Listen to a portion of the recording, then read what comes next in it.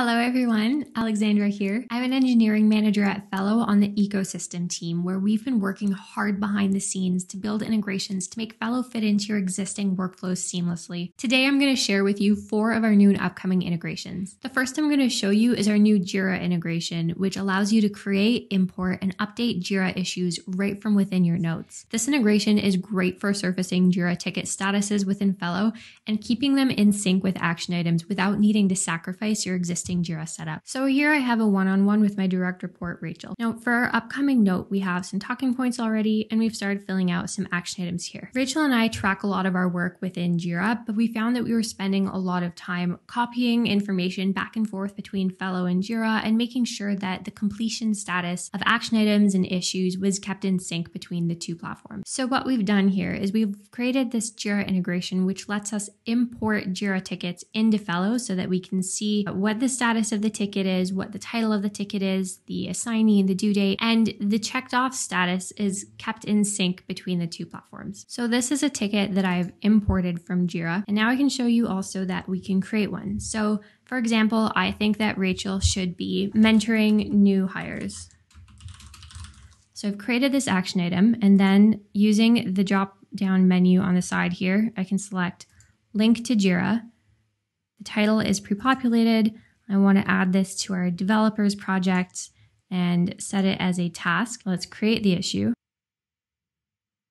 All right, so here we have the ticket. We link to it automatically. We put a link directly back to the stream where this was created in Fellow. And if we change the assignee over here, I want to set this to Rachel. Then if we go back to the stream, we can see that has been automatically updated to Rachel. And same thing with the status. If we check this off over here, come back to Jira and refresh the page, we can see that the ticket has been marked as done. Now, you can also import Jira issues. We have a new backslash command, backslash Jira, and this lets you import existing tickets like I did for the first one. So you can search here and I want to search over all of my development tickets. Let's say I want to make sure that Rachel is adding more test coverage to the product. I can import this ticket and here it gets added. So this Jira integration is configured at the workspace level. So you'll find it over here in workspace settings.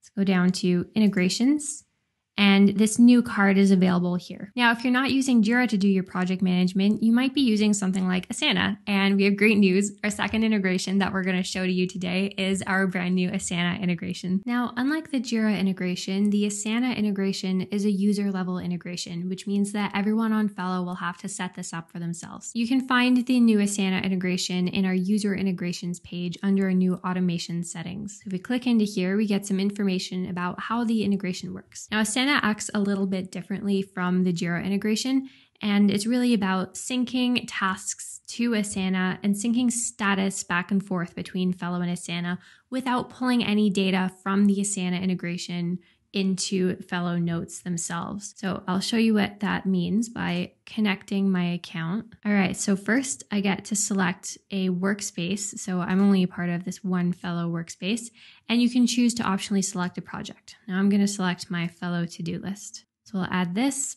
and we can see now I have linked the fellow to-do list. This will link directly to the project and I have not sent any Asana items over there to date. So let's jump into a meeting. So I had a meeting with Rachel. I want to remember to tell Rachel that she did a great job.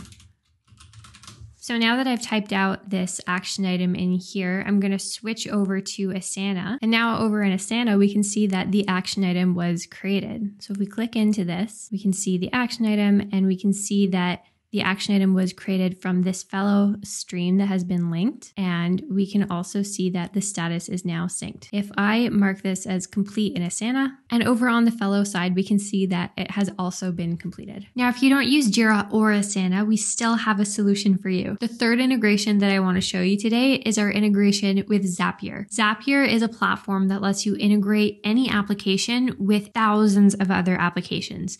So you can create your own integration for Fellow with HubSpot or Airtable, Discord, Trello, Todoist, or any application really that you use day to day. On the Zapier marketplace, you can find the Fellow integration page, which shows you information about what apps you can integrate with Fellow and different information like what triggers are available and what actions are available. These are used when you create zaps in Zapier, which are integrations between two different products. After creating a Zapier account, I'm brought to my dashboard here. I already have a few zaps set up, but I'm going to create one from scratch so you can see what the flow is like. To start off, we have to pick an application which will trigger this zap and make the integration start happening. So we have over 2,000 applications that we can actually pick from to start off this integration. I'm going to keep things simple and start it off with Fellow. So in Fellow, we have three different events that can start this application. And we pick these specifically so that it's easy for you to create integrations that sync action items back and forth between different platforms.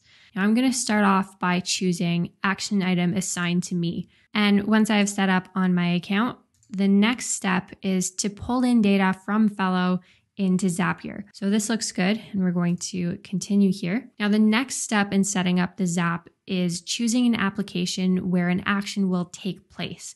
So usually here you would want to pick something like Google Tasks or Airtable uh, maybe even Google Calendar. Uh, just to keep things simple again, I'm going to create an action within Fellow. Now we have four options available here, all centered around creating and editing notes. Now you can add talking points or action items or regular notes like a, a bullet point note or you can complete an action item. And this is again used for syncing action items between two different products. For this integration, I'm going to add a talking point. So now my integration whenever an action item is assigned to me, will create a talking point. So I've selected this. And before we can finish this, we're going to be presented with some different fields to customize this talking point. For simplicity's sake, I'm going to select an actual stream that I would like this to go into. Now, same thing here, we can pipe in values. Now, the talking point, we haven't talked about it yet, so I'll mark this as unchecked. And the next thing that happens is uh, before Zapier actually lets me save this integration, it tests it to make sure that what I've done is valid. All right, so now that this test is completed, we can see that a talking point has been sent over to Fellow. And if we switch over to my stream, you can see that here it is. This uh, action item has been added.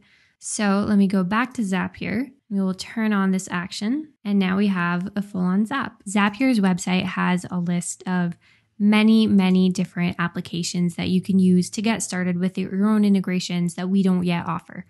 And if there's something that you find extremely useful that you would like to be native within Fellow, let us know and we'll see what we can do. Now, the last integration that I'm going to share with you today is a little bit different from the other three that we've seen so far, but I'm still very excited for this one. If you connect to Fellow through G Suite, you'll now have the option to export all of your streams to Google Docs. This option is available in the drop down in the corner here. You can select Export to Google Docs. Exporting your stream to Google Docs will create a new document within your G Suite account, which adds in all of the written notes, all of the assignees and the due dates, and the checked off status of action items, and even your private notes if you'd like. This is a great solution for if you want to create your own archive of your notes or even create them in a publicly accessible location while still writing in Fellow. So we're going to export these notes here. And we get a pop-up at the bottom here saying that our export is complete.